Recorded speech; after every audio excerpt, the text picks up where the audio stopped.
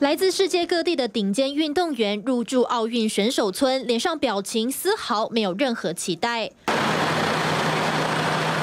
巴黎奥运标榜绿能环保，选手村采用纸板床、瓦楞纸床架，放上聚乙烯床垫，精简设计，减少更多碳排放量。The village in which athletes are living has been built with 30% less carbon per square meter.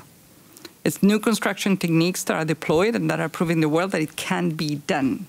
但是选手显然不买单，更不用说最高温都有三十度的巴黎，房间却没冷气，只靠地下管道冷却系统，几乎没有什么降温效果。英国、德国、日本、大陆等国家干脆自费帮选手准备移动式冷气，不敌舆论攻击，巴黎奥委会连忙订购两千五百台冷气机，但在选手村居然连吃饭都有问题。日本师傅现捏寿司煮拉面，另一边整货架的韩国杯面送达选手村，不是太想念家乡味，而是选手村提供的伙食百分之六十都是素食，鸡蛋、烤肉这些运动员最需要的蛋白质竟然是限量供应，选手睡不好吃不饱，还有日本橄榄球选手放房间的婚戒、项链以及现金不翼而飞，损失超过台币十万元。选手村问题一箩筐，巴黎塞纳河污水状况也未改。善。